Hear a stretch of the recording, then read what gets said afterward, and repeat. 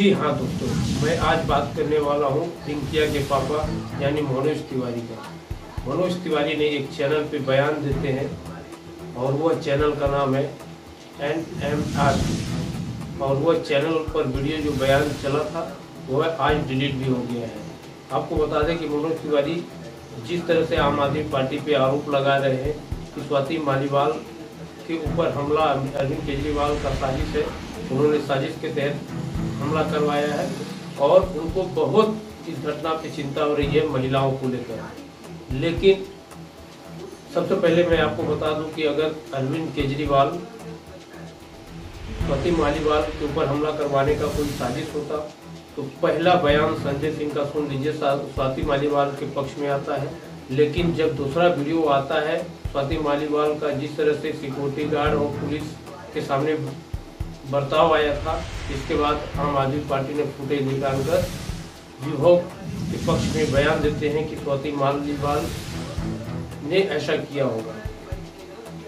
लेकिन बात ये नहीं है, बात दूसरी ये है कि जिस तरह से आज मनोज तिवारी को महिलाओं की ऊपर बहुत चिंता हो रही है तो जहाँ मनोज तिवारी रहते हैं, वही मनोज तिवारी के दिल्ली में, दिल्ली के जंतर मंतर पर जिस तरह से पहलवानों को घसीटा गया था। उस समय मनोज तिवारी का दर्द नहीं छलगा और दूसरा आपको बता दें कि जिस तरह से एक सैनिक के पत्नी को मणिपुर में जिस तरह से नंगा घुमाया गया, उस हालात पे बीजेपी का एक भी बयान सामने नहीं आया। यानी महिलाओं को चिंता है तो फिर उस मामले को लेकर आज तक ना तो प्रधानमंत्री बोले, ना ही मनोज तिवारी बोले, ना ही एक भी बीजेपी का नेता बोला। लेकिन इसके बाद एक और बड़ा घटना आती है जहाँ पे कोई रवन्ना करके नेता है जो कि उसको नरेंद्र मोदी वोट मांगने के लिए उसके साथ खड़े होते हैं और जब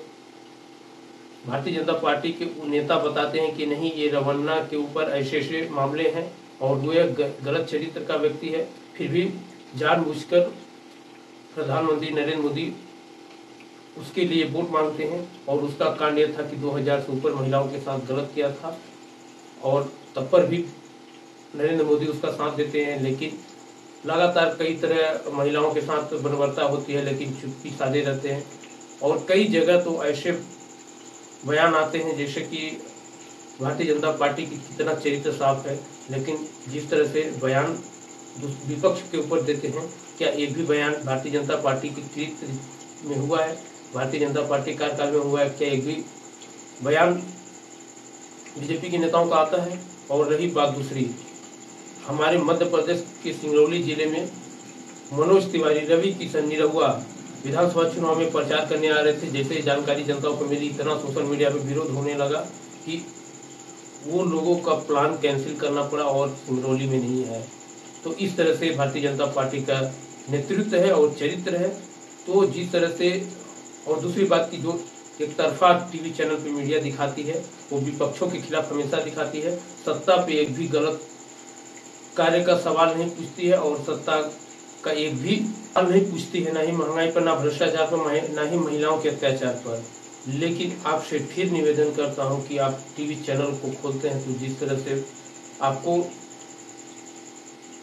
माइंड पे असर डाल दिया गया है, माइंड को आप कवर कर लिया गया है तो आपको सिर्फ़ एक पक्ष का न्यूज़ दिखाया जा रहा है, लेकिन आप उससे तत्काल बंद कर दीजिए देखना और आप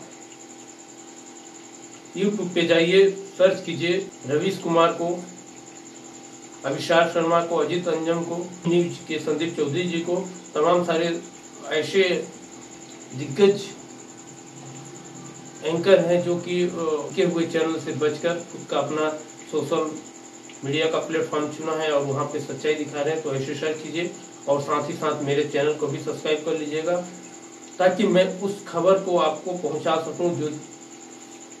वर्तमान में चल रहा है। तो ये वीडियो कैसा लगा? अगर अच्छा लगा तो प्लीज़ मेरे वीडियो को शेयर कर लीजिएगा। तब तक के लिए याद दीजिए। नमस्कार। जय हिंद।